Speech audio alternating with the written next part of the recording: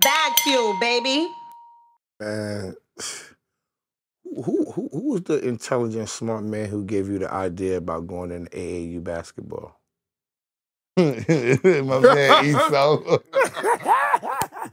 Who was that smart guy that told you to go into AAU Nah, basketball? You did, you did, man, and that's what I'm pushing for, man. Uh, you be you be pushing that, Paul. You be pushing that on me like crazy. Like that's my next goal to like Yeah. start with somebody and then hopefully build up to my own Lenny Cooke team. You have to. You go coach with somebody, and y'all win some games. Yeah, You win some games. Mhm. You put some business behind it. Do your fundraising. Get your shout outs. Now you can use your name. Like I told you, you you you, you rock with Stephen Jackson Yeah. You rock with A- A- A- AI already. You you rock with. Melo. You rock with Bron uh-huh. already. So the biggest thing is that, like you said, keeping your your relationships tight and bringing these people to your camp, exposing them to your kids yeah. take time and you build your thing. When you do your fundraising, that's the thing about ball players that I always want to say, not even ball players, creators.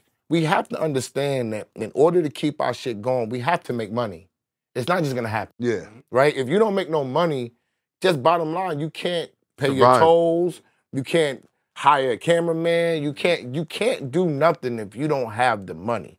So in putting the business side behind the AAU basketball and, and fundraising is important.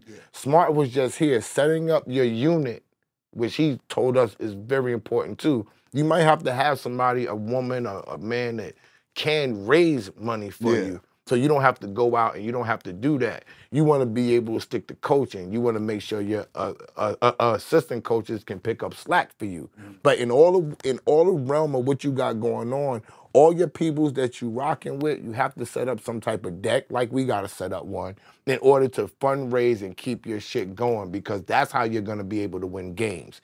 Getting seen in the right tournaments, yeah, going to the right places, beating the right teams. for sure. What's your plan for getting players?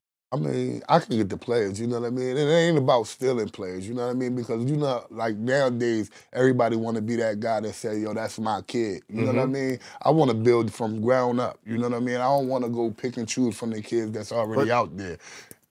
Go Yeah. No, go. But it's like I want to start like my grassroots team. When I when I have my own team, I want to have them from youth on up. You know what I'm saying? That stealing thing, though, that is because it just triggered something. Your brother-in-law. Think about how many people that was trying to take him away from you. No, I mean, it Yeah, you know, it they- happened because, because- it, it happened Yeah. to me. Like I played with every team in New York City. I played with Riverside. I played with the Chos. I played with the Panthers, Mhm. and that's because everybody wanted a piece. You know what I mean? Of me But you know what that comes team, with. and whoever came with the most at that time, that's who I was going to play with. You know what I mean? Yeah. And nowadays, it's like. People got these kids so locked in. It's like, yo, that's this- my kid. I'm not, and he's not playing with nobody else.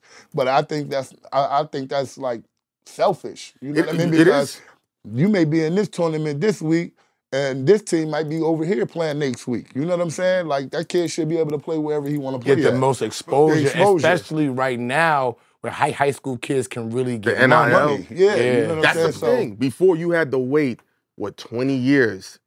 Or Jaylen Brown's what, 26 now. He just got 300 million.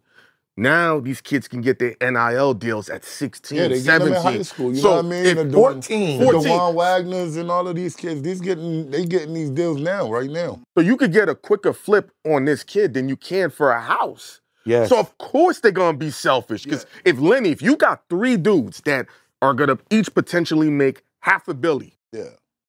Fuck, you don't even gotta say Yeah, half a billion. billion. It could be 20 it's 20 million. million. Or Yeah. three kids, then I want seven in. million. Nah, I'm gonna sure. be your friend. I'm like, yo, S, get this kid right here. We we, we But you trying to line money. up. But you but you also still need money to invest, Invest in that, in that kid, kid. Yeah, that's because that kid is gonna have to eat along the That's- way. that's that fact. kid got to stay fresh along the way. All he of got it. to get back and forth to school comfortably. He got to get home after practice. You mm, know what I'm saying? He's it's definitely an he's a rap. He's a young rapper. Yeah. You feel what I'm Yeah, saying? And you gotta babysit him, and because that's your pot. But like you understand with these kids, you gotta understand their frontal lobe is not developed even Yeah, at that age. At the age. So you don't know where they're gonna go. And the flip side of it, you can't legally sign them to a contract until they're 18. Until they're 18. Mm-hmm.